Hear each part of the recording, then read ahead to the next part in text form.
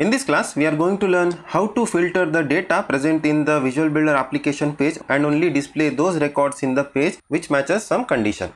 This page shows the data for the phone numbers that is couple of numbers are for the office address one is for home and another one is for the mobile. Suppose if we want to filter phone data and show only those numbers which are specific for home or mobile or office we can achieve by using the filtering in Visual Builder. Now we will see how to achieve this filtering.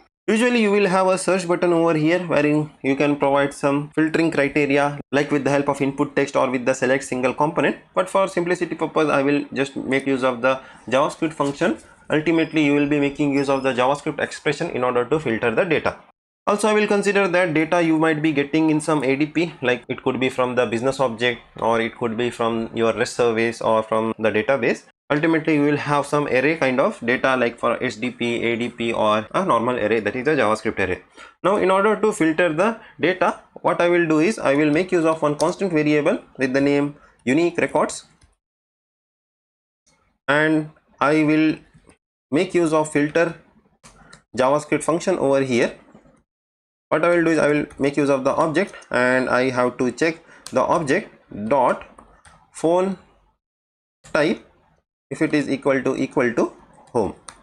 If it is equal to home then only I will show that result in the screen instead of data that is creating the ADP and showing in the table information I will make use of the unique records.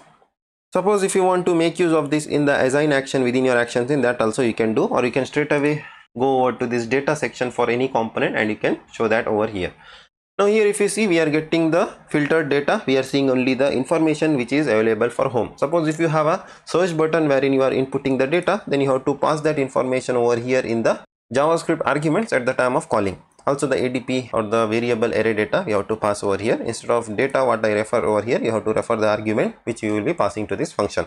Now suppose i want to get only the details for the office address. I will write the condition as office and just go to the page designer this time I am seeing only the numbers which are relevant to the office. So like this we can achieve the filtering in Visual Builder application very easily that is just by one line of code that is by making use of this filter JavaScript method.